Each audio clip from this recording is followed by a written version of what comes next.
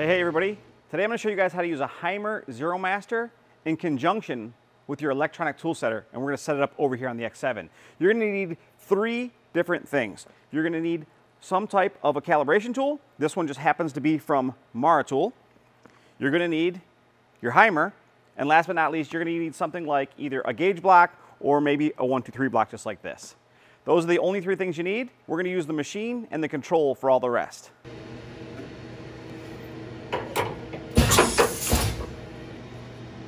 All right, before we get going, I want to show you guys something. These calibration tools, this one from, from Maritool, it already has extremely accurate numbers for its diameter and its length from a gauge line that was created at the Maritool production facility. You don't have to have one of these. You can just eyeball this because what happens is the whole coordinate system is going to be relative to whatever length we choose for the length of this tool. I'll explain that in a little bit more depth. But for now, let's get this thing in the spindle.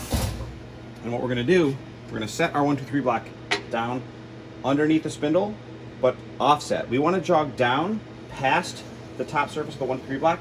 We never wanna jog down onto the block because it would be incredibly easy to make a mistake and, and kind of have a, a gentle crash on the machine. I don't know if that's, it's kind of a conundrum, a gentle crash, but it, it, I've seen it happen.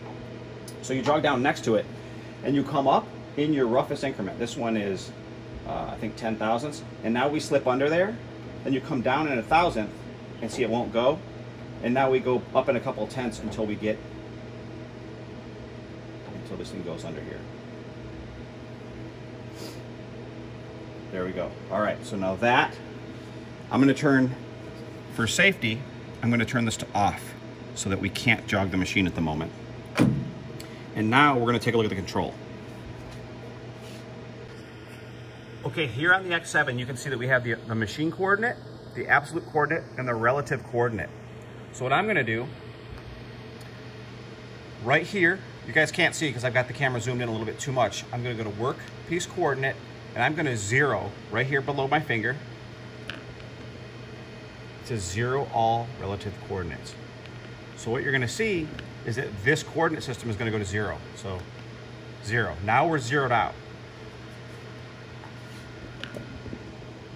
So right now, in the machine, this, this position is zero. But keep in mind, we have 2.9999. We're gonna call it 3.00 inches for reference. But we have three inches from the gauge line to the top of this gauge block. So the next step is to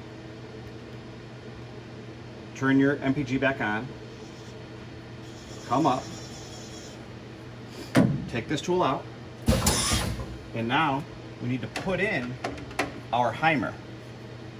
So scoot this back out of the way. Okay. Now, when we jog down onto this, we'll then take an account of where our relative coordinate system is. So we're going to come down, come down like this, make sure we're all the way down. We're going to tenth so that it's as accurate as we can make it.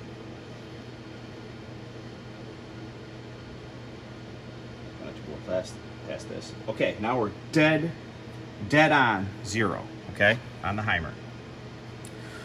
So we go back to our relative coordinate system and you can see that we've got 3.2415, okay? Obviously, we'll add the three inches to the length of the Haimer, and now we have an accurate length for the Haimer. Now, just to give you guys an idea of how repeatable this is, I'm gonna zoom out just a smidge. See the studio lights are on behind us. I'm gonna go like this. I'm gonna go to tool set. I set the Haimer as tool 96. Now, I you, you see I haven't done anything else. We're still rolling. There's no editing that's happened. Tool set, we're gonna page down. We don't even need to, look. 6.2415, and here's our relative coordinate. So this repeats very accurately. And the way, as long as you calibrate your tool setter right there in the background, as long as, as long as you do your tool setter calibration with this tool, then when you do this, this same procedure, you'll be able to touch off your tools with your tool setter and touch off your work with your Haimer. Well, we actually have a probe for the X7 right here. Sometimes using a Haimer is just incredibly easy and just much faster to be honest with you, which is why we also keep one around for our Cat 40 machines. And I print out a little label that just keeps the gauge length on the, on the machine itself. So this is always related to the calibration tool itself. So hope this helped you guys out. Hope this is useful.